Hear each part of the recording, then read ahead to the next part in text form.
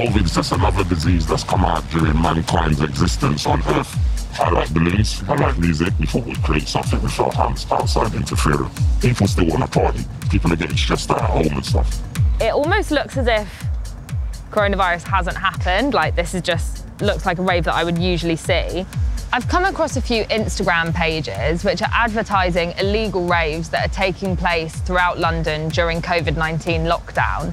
And this is a secret WhatsApp group which has about 300 people in there. And what they do is they send you the location to the rave a few hours before it begins. So I've got in touch with two of the event organisers and they've actually agreed to meet me today ahead of one of their parties which is taking place on a canal boat.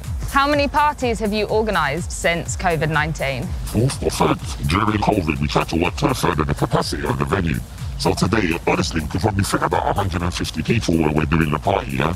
We're going to have 60 or 70. So as things are getting more relaxed and you can see all the protesting going on and all that sort of stuff. Aren't you worried about infecting other people? But today there's probably going to be thousands of people in Westminster that have come, they've got no sanitizer, they've got no PP, they've got nothing. You see today, yeah, everyone's going to have mask PPs or what. So it's up to them. I've always got regular sanitizer because I'm washing my hands more. Sure. I just think when it's a protest, it's political. What about all those people all together? Even one old man, 96 years old, he was part of the protest and he was there in the middle of everybody. I just think people would see the protest as something that's political and then people would see partying as, you know, having a jolly and be offended by that. Yeah, but I could have a protest here today and then just turn on some music and make some media and all that. Everyone's going to have their own views and their own sides. COVID, yeah? Yesterday it wasn't like the biggest killer in the country. But because the media are directing us to COVID, they're paying attention to it. This week the media are all about Black Lives Matter no one's not really paying as much attention to it. So like we're not like media puppets or anything like that. So we're putting on our little gatherings just like everybody else and we're making them as safe as possible. Now what I know the law to be here is if there's a disturbance, you call the police or something, they will come. If there's no law being broken, they'll permit you to continue, right? These officers attended, I've got more of it, when they tell us to turn it up, I've got footage where the police are telling us to turn the music up because we've turned it down. They tell us to turn up the music. And They check the whole area, the fire exits, the gathering, the space between everybody.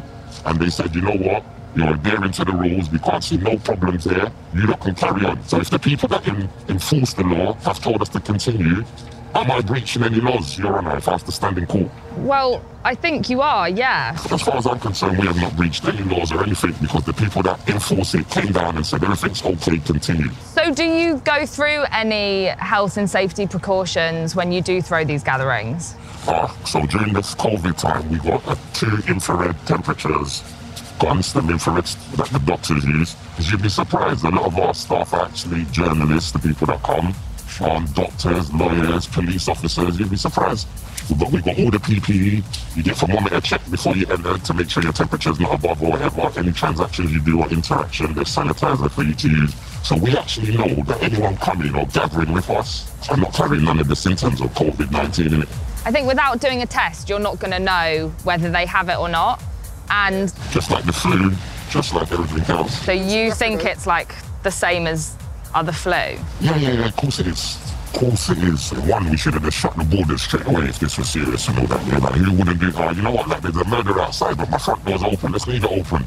Why do you feel like it is important to throw mass gatherings during this time? Because um, you know it is. Yeah. Everyone's got their own vulnerabilities, and unfortunately, yeah, the government or the powers that be can't get to everybody. Like the media ain't concentrating on the amount of people that have killed themselves due to mental health problems, isolation, loneliness during this time and that. Yeah, what these night gatherings do, they allow people to be themselves and be free and not be judged and together with similar like-minded people in a safe environment.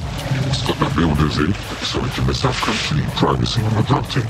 Everybody during the coronavirus has been a bit confused about what they're allowed to do, what they're not allowed to do. And there definitely are some blurred lines there, and I do blame the government for it. But at the same time, I mean, it's pretty obvious that putting on a mass gathering of, you know, 100 plus people isn't right during a time like this. And I think people will watch it, especially people who have been taking precautions and not being able to see their families, and they'll be angry.